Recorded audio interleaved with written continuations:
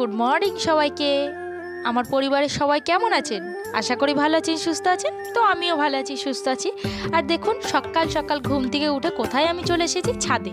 না, ছাদে এই ফুলগুলো নতুন হয়েছে মানে গাছটা লাগানো হয়েছিল যখন থেকে তখন থেকে তো আপনারা দেখেছেনই। এখন আস্তে আস্তে ফুলগুলো ফুটছে, দেখতে খুব সুন্দর লাগছে, জানেন তো?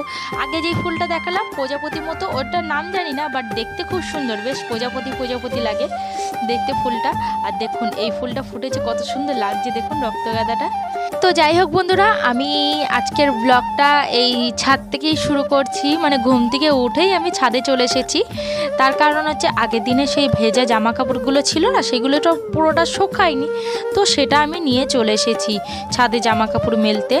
আর সকালবেলা ছাদে আসতে খুব ভালো লাগে, জানেন তো? এই শীতকালের মধ্যে যে রোদ্দুরটা আসে, হালকা রোদটা খুব ভালো লাগে গায়ে লাগলে।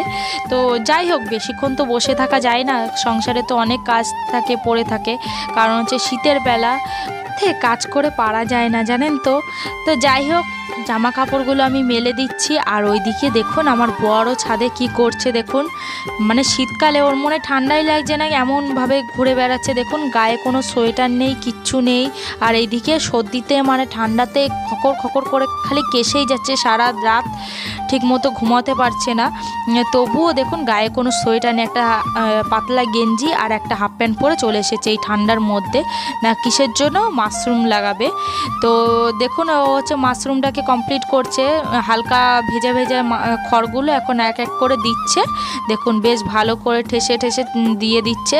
দিয়ে এবারে আগে প্রথমে খড়গুলো দিয়েছে, তারপরে এক লেয়ার হচ্ছে মাশরুমের দানা দিয়ে দিয়েছে। আবার এখন হচ্ছে এক লেয়ার খড় দিয়েছে, আবার এক লেয়ার মানে মাশরুমের দানাগুলো দিয়ে দিচ্ছে। তো এইগুলো না অনেক দিন আগে কিনে রেখেছিল ফ্রিজে আনা ছিল তাই জন্য আর তখন দেখানো হয়নি। ফ্রিজে এনে রেখে দিয়েছিল অনেক দিন ধরে। তো আমি জানতাম না, হঠাৎ করে সেদিনকার ফ্রিজ খুলে দেখি কি, ও হচ্ছে মাশরুম এনে রেখে দিয়েছে মানে দানাগুলো। আর এইদিকে দেখুন, একটা কমপ্লিট করে রেখে দিয়েছে। এখন ঘরে নিয়ে গিয়ে মানে বাঁশের উপর মানে বেঁধে দেবে। ওই টিনের চালে। আর এই দেখিয়ে দেখুন মাশরুমের দানাগুলো। আমি ধরলাম না, কারণ হচ্ছে ছোঁয়াছেনা করতে নেই, করলে পরেই যদি হচ্ছে খারাপ হয়ে যায়, যদি না হয়, তাই জন্য আমি আপনাদের ধরে ঠিক মতো দেখালাম না। চেয়ারের উপর ছিল সেটাই আপনাদের দেখাচ্ছি। না। চুপ করে বলছে কাজ নেই? আবার? এদিকে দেখে হাত বাড়াচ্ছে, আসছে আসছে, হামা দিয়ে চলে আসছে। বন্ধুরা, আমি হচ্ছে ছাদ থেকে চলে এসেছি, এসেই এইদিকে মেয়েটাকে পাশে বসিয়ে দিয়েছি, আর এখন আমি রান্না বসিয়ে দিয়েছি, জানেন তো? সকাল সকাল এটা মুসুরির ডাল বসিয়ে দিয়েছি।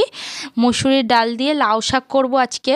তো মুসুরির ডালটা আগে বসিয়ে দিয়েছি, আর এইদিকে দেখুন আমার মেয়েটাকে কোথায় বসিয়েছিলাম আর কোথায় চলে এসেছে।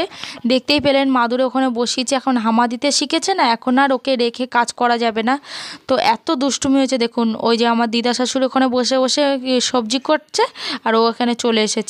নিয়ে ওইগুলো নিয়ে হাত দেবে, খাবে মুখে, আর যা পাবে তাই মুখে দেবে, জানেন তো? এমন দুষ্টু হয়েছে ঠান্ডার মধ্যে আর কিছু না করতে পেরে লাস্টে আমি ভাবলাম, কি করব কি করব? ওইখানে বসিয়েছিলাম, দেখুন, ওখান থেকে অতটা দূর চলে এসেছে। এই মেয়েকে এখন আর রাখা যাবে? দেখুন বন্ধুরা, কোথাও রাখা, রাখতে পারছি না একে, এত দুষ্টুমি করছে, তাই জন্য পিঠে বেঁধে নিয়েছি, এই যে। পিঠে দেখি, তাকাও। টুকি! এই যে দুষ্টু!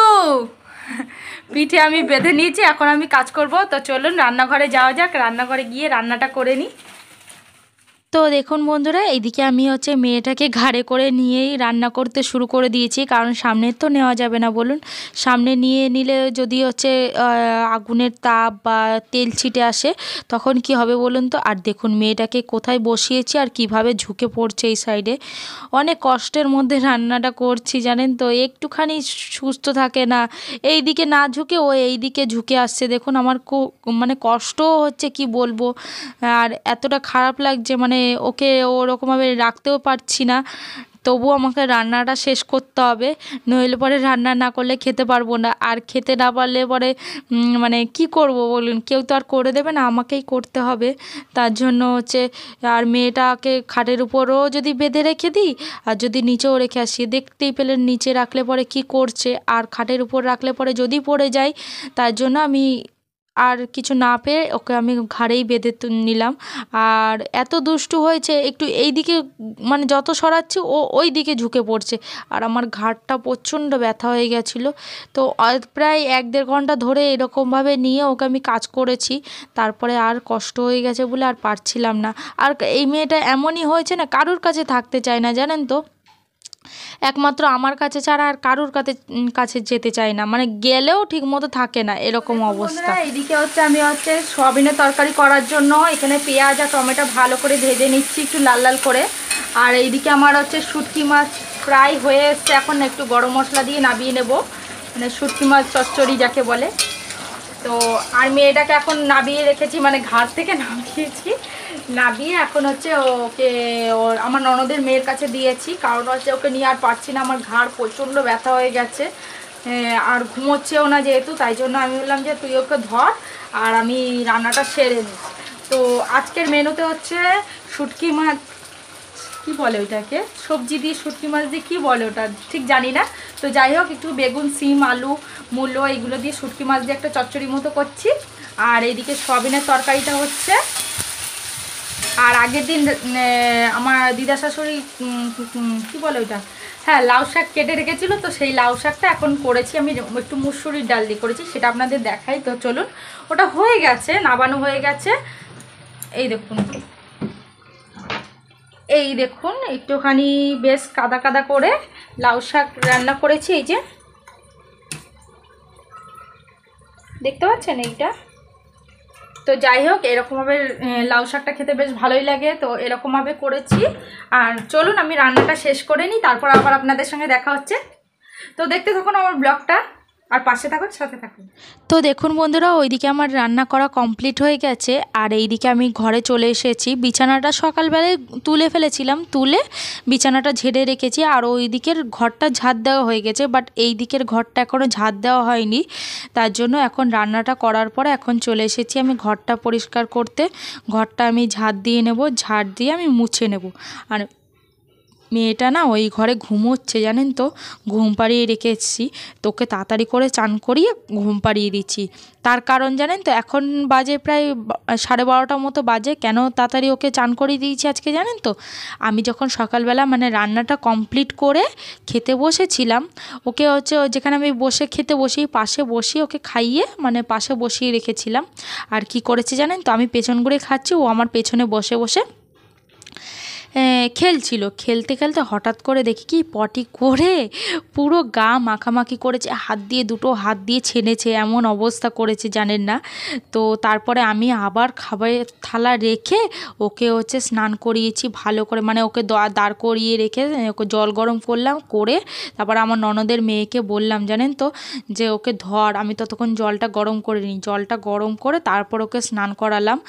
ঘুম পাড়িয়ে দিয়েছিলাম, তারপরে কিছুক্ষণ ওই ঘুমোলো তারপরে ক্ষণে ঘুম থেকে উঠে পড়েছে, জানেন তো?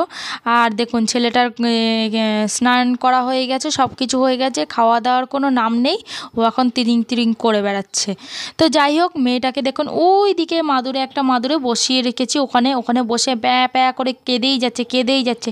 অত কাঁদলে কি করে হবে বলুন? আমাকে তো সংসারের কাজগুলো করতে হবে, না মানে না করলে কে করে দেবে? অনেক একটুখানি ভালো করে ঘুমোলে তাহলে আমি কাজগুলো কমপ্লিট করে ফেলতে পারি। কোনো রকমে একটুখানি ঘুমোবে আর ওই ঘুমিয়ে উঠেই কান্না শুরু করে দেবে। তো যাই হোক, আমার জামা কাপড়গুলো ধোয়া কমপ্লিট হয়ে গেছে। এখন জামা কাপড়গুলো আমি মেলে দেবো। এখন প্রায় বেজে গেছে তিনটের কাছাকাছি, সাড়ে তিনটের কাছাকাছি। এখন যদি আমি জামা কাপড়গুলো মেলি, তাও তো শুকোবে না। যাই হোক, ছাদে মেলে দিলে জলটা তো শুকো মানে ঝরবে। তো যাই হোক, মেয়েটা ওখানটা বসে বসে কেঁদেই যাচ্ছে কেঁদেই যাচ্ছে। আমার ছেলেকে বললাম যে, বাবু, একটুখানি পাশে বসে মেয়েটার সঙ্গে মানে খেলা কর, বোনের সাথে একটু খেলা কর। ও তো সেটা করবেই না, ও ওর কাজ করে যায়। ওকে বললে পরে না, ও হচ্ছে গিয়ে হয়তো একটুখানি ঠোকা দিল বনুকে একটুখানি মারলো এইরকম করে, জানেন তো? এত দুষ্টু হয়েছে দুইজনের মধ্যে। তো কথা বললে একটা কথা শোনে আর ছেলেটার পিছনে চেঁচাতে চেঁচাতে আমার অবস্থা আরোই খারাপ হয়ে যায়। মেয়েটাকে নিয়ে যতটা না কষ্ট হয়, তার থেকে বেশি কষ্ট হয় আমি ছেলেটাকে নিয়ে। তো যাই হোক, দেখুন আমি হচ্ছে জামা কাপড়গুলো মেলে নি দিচ্ছি আর এদিকে দেখুন উনুনটা যেমন কেতা তেমনই পড়ে রয়েছে, আর হাত দেওয়া হয়নি। মানে হাত দেবো কী করে? কাজের এত চাপ, চাপের জ্বালায় আর করতেই পারছি না। তো যাই হোক, পরে আবার দেখা হচ্ছে আপনাদের সঙ্গে। মেয়েটা প্রচণ্ড কান্নাকাটি করছে। দেখুন বন্ধুরা, স্নান করে আমি হচ্ছে ছাদে জামা কাপড় মেলে এখন চলে এসেছি। এই দেখুন আমার মেয়ে পাশে বসেই আছে। আর যাই হোক, সারাদিন খাটার পরে এখন কটা বাজে দেখুন? বেলা বেজে গেছে সাড়ে তিনটে। আপনারা দেখতে পাচ্ছেন কিনা জানি না। এখন বাজে সাড়ে তিনটে। এখন আমি কোনো খাওয়া মানে খাইনি। সেই সকালে তখন খেয়েছি। মানে আপনারা দেখেননি, দেখানো হয়নি আমার। তো সকালবেলা খেয়েছি। দুপুরে, সকালের খাবার আমি তখন কটা বাজে? তখন খেলাম। ওই বারোটা, সাড়ে বারোটার মতো বাজে। তাই জন্য এখন আমার কোনো খিদে নেই। আর এখন মেয়েটার অবস্থা দেখুন, এমনিতেই তো ঠান্ডা লেগে বসে আছে, শরীরটা খুবই খারাপ মেয়েটার। তো ভেবেছি যে আজকে আমি নিজে যাব, ডাক্তারখানায় নিয়ে যাব। তার একটাই কারণ, ঠান্ডা তো যাই হোক একটা লেগেছে তবু কমে যাচ্ছে আস্তে আস্তে করে। মানে ওষুধপত্র দিচ্ছি, আমি হচ্ছে বাসক পাতা, তারপরে তুলসী পাতা রস করে মধু দিয়ে গরম করে খাওয়ানো হচ্ছে। কমেছে, অনেকটা কমেছে আরেও দেখছেন, কাশছে। এই দেখুন হামা দিতে দিতে চলে যাচ্ছে। এদিকে। বাবা, শরীরটা একদম ভালো নেই, তাও মানে ওর যুদ্ধ কমে না। আর একটা জিনিস আপনাদের দেখায় দাঁড়ান, একটু ব্যাক ক্যামেরায় না দেখালে আপনারা বুঝতে পারবেন না। এর মাথায় কী সব হচ্ছে জানেন তো? আমার না হেভি খারাপ লাগছে দেখে, ওর কষ্ট হচ্ছে। এই দেখুন এই দেখুন। কেমন, এই মানে এই একটা আরও আরও আছে। এই দেখুন। আমার দাঁড়াও দাঁড়াও দাঁড়াও, শোনা শোনা। ও না এইরকম, ও মানে ব্যথা, প্রচণ্ড ব্যথা, মাথায় ও হাত দিতে দিচ্ছে না। এইসব জায়গাগুলো দিয়ে না মাথার মধ্যে কীরকম ফোড়া ফোড়া মতো হয়েছে। এই দেখুন, এই যে লাল হয়ে আছে, উফ। ও। চলুন, ওকে হচ্ছে একটু পরে আমি হচ্ছে পাঁচটা, সাড়ে পাঁচটা বাজবে, তখন আমি ডাক্তারখানায় নিয়ে যাব। না নিলে হবে না, কারণ বাচ্চা মানুষ কি থেকে কি হবে বোঝা তো যায় না। তো যাই হোক, এখন ডাক্তারখানায় নিয়ে যাব, তারপর দেখি ডাক্তারখানায় নিয়ে গিয়ে কি বলে। তো দেখুন বন্ধুরা, এখন আমি রেডি হয়ে গেছি, আর এখন নিয়ে যাচ্ছি আমার মেয়েকে একটু ডাক্তারখানায়। তো এখন বাজে ছটা, পৌনে ছটা মতো বাজে। তো চলুন, যাওয়া যাক। তো দেখুন বন্ধুরা, এদিকে আমি ডাক্তারখানায় নিয়ে চলে এসেছি মেয়েটাকে নিয়ে। আর সব বাচ্চা কাটা বাচ্চাগুলো কান্নাকাটি করছিল, জানেন তো? মানে প্রচণ্ড কান্নাকাটি করছিল আর ঠান্ডাতে। ঠান্ডাতে মানে বাচ্চাগুলোর এত ঠান্ডা লেগে গেছে, কি বলব? আমাদেরটা তো আছেই। আরও মানে এখনকার সব বাচ্চা কাচ্চাদের মানে অন্য কোনো শরীর খারাপ নেই। সব ঠান্ডা লেগেছে, সব ঠান্ডা লেগেছে। তো যাই হোক, এইখানে দেখুন খেলনাগুলো রেখে দিয়েছে বাচ্চাদের যাতে মানে এসে খেলাধুলা করে, কোনো কষ্ট না হয়, তার জন্য এখানে খেলনা আর এদিকে টিভিতে নিউজ চালিয়ে রেখেছে। নিউজ আর কে দেখবে বলুন? বাচ্চা নিয়েই সবাই ব্যস্ত। আর এদিকে দেখুন, আমার মেয়ে আমার সঙ্গে খেলা করছে। ও, আমি মাস্ক পরে আছি, ও আমাকে চিনতে পারছে না। দেখুন অবস্থাটা।